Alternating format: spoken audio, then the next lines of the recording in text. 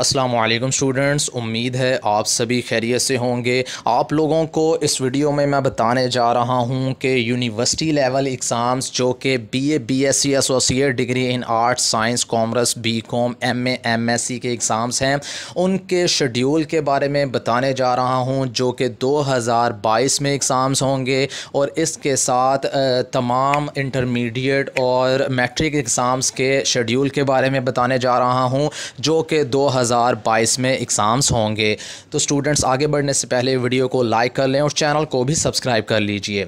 तो स्टूडेंट्स, सबसे पहले तो आप लोगों को बता दिया जाए, जो छोटे बच्चे हैं, यानी इंटरमीडिएट और मैट्रिक के स्टूडेंट्स हैं, उनके लिए बता दिया जाए कि आप लोगों का जो शेड्यूल जारी किया गया है 2022 के एग्ज़ाम्स के हवाले से, वो ये है कि आप लोगों का एग्ज़ाम जो है, वो मई और जून के मंथ में लिया जाएगा और साथ में ये भी कहा गया है कि आप लोगों का एग्ज़ाम जो है वो मुकम्मल सिलेबस के साथ होगा।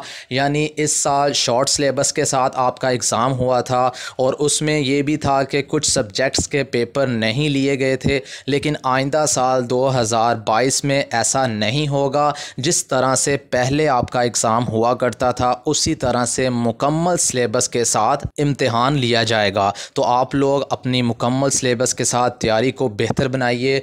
इसके बाद बात कर लेते हैं BA BSc associate degree in arts science commerce के जो स्टूडेंट्स हैं, उनके एग्ज़ाम्स के हवाले से तो आप लोगों का जो 2022 में एग्ज़ाम होगा, वो ये ख़बर मिली है कि जुलाई या अगस्त के मंथ में आप लोगों का एग्ज़ाम स्टार्ट कर दिया जाएगा।